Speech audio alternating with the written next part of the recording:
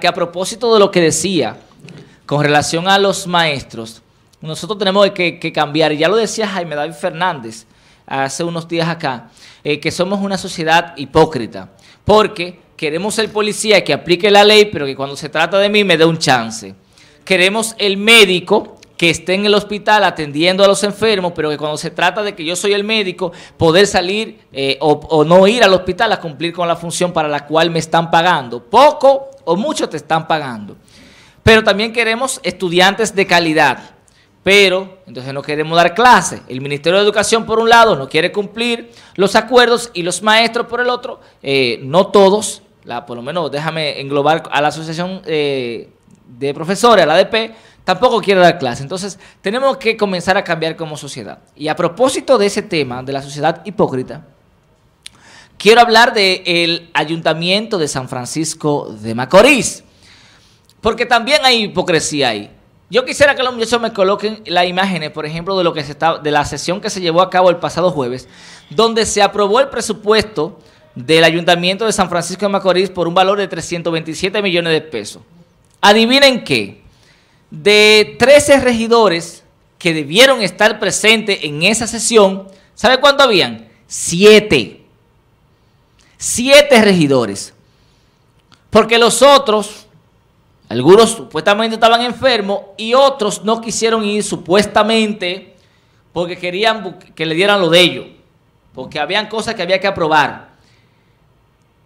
Yo quiero que eh, poner unos minutos al alcalde, lo que él dice ahí.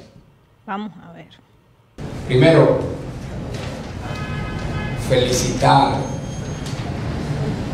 a estos honorables regidores que han tenido una cita con el compromiso del municipio de San Francisco de Macorís. Por ende, se colocan al lado de la historia de un pueblo que cada día anhela hombre valioso, con valores con deseo y con preocupación municipalista. Que no esté aquí hoy tiene una ausencia histórica en la agenda de desarrollo. Y el que no haya estado por problemas de salud o un inconveniente que le haya impedido, nosotros queremos incluirlo pero aquellos que por años se han mantenido en contra de una agenda de este pueblo, el pueblo lo sabe y el pueblo lo castigará. Nosotros nos vamos, la mayoría nos vamos. Y lo que nos vamos, estamos sentando un ejemplo. Fíjense ahí que el alcalde de San Francisco dice que el pueblo sabe quiénes son y que el pueblo lo castigará. Pues déjenme mostrarle a ustedes lo que yo venía denunciando hace unos días, que supuestamente había unos regidores que estaban presionando a la alcaldía para que se aprobaran unos bonos. Equipo de producción, por favor pónganme ahí el documento donde eh, se hizo la solicitud, míralo ahí, es ese. Eh, sí, ahí está el documento donde se aprobaron en San Francisco de Macorís la suma, déjenme ver, de 1.800.000 pesos. Aquí está. Eh, déjame ver. Sí, 1.800.000 pesos para bonos. Y oiga lo que dice la carta. Oiga lo que dice la carta. Eh, déjame ver. es una, una apropiación. Apropiación o aprobación sería.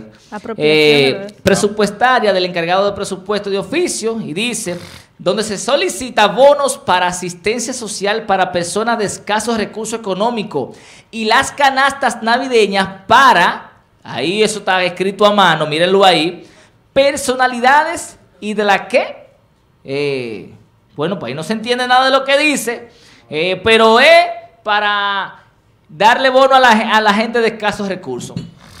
Entonces se confirma lo que nosotros decíamos aquí, que había una presión de algunos regidores, de algunos regidores para que aprobaran una cantidad determinada de bonos para repartírselo entre cachanchanes y también canastas especiales. Mírenla ahí, la canasta, donde, están aprobadas ya. ¿A quién le van a dar esa canasta? ¿Por qué el ayuntamiento de San Francisco de Macorís tiene que salir a dar canasta? ¿A quién? ¿Es para periodistas, para complacerlo? ¿Es para comunicadores, para complacerlo? Es para empresarios, para complacerlos. ¿Por qué tenemos que seguir, señores, eh, de, eh, tirando por la borda el dinero del pueblo? Porque si fuera verdad que fuera a llegar a la gente de escasos recursos, yo no creo que sea esa la vía. Pero Alex se ha caracterizado por ser un alcalde austero, que es raro que en este Sí. momento habrá sido que haya cedido a la presión Es posible, de y es lo que yo quisiera que ellas, legisladores que ellos locales. respondan. Es posible que haya, que haya cedido a la presión, porque fíjate que se aprobó el presupuesto eh, eh, el, el pasado eh, jueves, pero de 13 regidores que debieron estar presentes ahí, habían 7 solamente. Habían 7. O sea, si nosotros no denunciamos este tipo de acción dentro de la administración pública y si nosotros no denunciamos todos los males sociales, no vamos a cambiar como sociedad. Porque entonces el que recibe el bono dice, eso está bien que lo den. Ah, pero claro, porque tú lo vas a recibir. Y es verdad que eso es para la gente de escasos recursos. Y es verdad que eso va a llegar. ¿Y cómo lo demuestran después? ¿A quién se lo dieron? Es que esos son... eh, No se presta eso a manipulación. Y aún sea para gente de escasos recursos, son medidas eh, populistas. populista, populista. Si usted quiere llevarle algo a una gente necesitada, hágalo por otra vía, no tiene que ser a través de bonos, que se los reparten, presumo, entre los regidores para que ellos hagan con eso y se los repartan a, su- a su- a sus seguidores políticos y algunos, según me dicen, van y hacen compras eh, altísimas con eso y la pasan en un supermercado cualquiera de San Francisco de Macorís.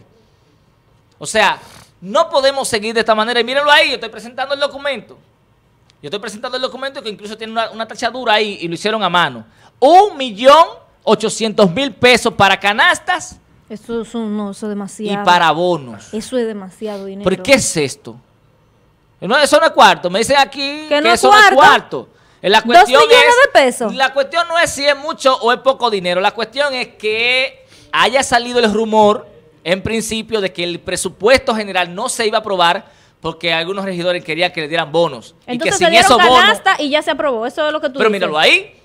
Pero míralo ahí. O sea, se, se aprobó el presupuesto y de una vez sale este documento donde se aprobaron para ¿Tú este sabes año por qué te dicen que eso no es dinero? Porque los funcionarios públicos, los ministros, viceministros, directores, se cogen canasta de 200 mil es pesos. Que, es que ese es el problema. Una sola, Nosotros 300 tenemos que mil pesos, todo 400 eso. mil pesos, Tenemos que eliminar canasta. todo Son eso. Eso no baúles. puede ser posible. No, Tenemos eso que eliminar no, toda esa no, vaina. Y yo quisiera saber a quién es que la, que la alcaldía, porque el pueblo tiene Pero que tú saber. viste las fotos de, de una cantidad eh, de cajas en la casa o en el local de una de un candidato, una candidata Sí, aquí, sí, sí, sí, de, sí, de las canastas del plan Sí, social sí, sí. que la van a usar para... Sí. Entonces, señores, por Dios, tenemos que dejarnos de esa canchanchanería política, tenemos que adecentar las instituciones. Y ciertamente a la gente hay que darle, a, a la gente de caso de recursos hay que darle, pero no así, no de esta manera. Y ese chantaje que existe en las instituciones, por ejemplo, como el Congreso, Malvados. como en el Congreso, en el Senado y en, y en las, eh, eh, en las alcaldías, con esa vaina hay que acabar. Si no, no vamos a cambiar. Vamos, cerramos, vamos, Sí, tenemos vamos. WhatsApp. Bueno, pues mañana nos yo quiero- vemos. Mañana es Yo otro quiero día. saber a quién le van a entregar esos bonos. Mañana ¿De es qué otro manera día. se van a entregar y a quién le van a entregar las, las canadas especiales y cuánto van a costar? Mañana nos vemos para continuar con esto y más. Hay que mandar la cámara a los supermercados. Ellos son los que tienen que informar. Ah. Eso es transparencia. Ah, Eso es bueno. transparencia. Mañana nos vemos. ¿A quién se lo-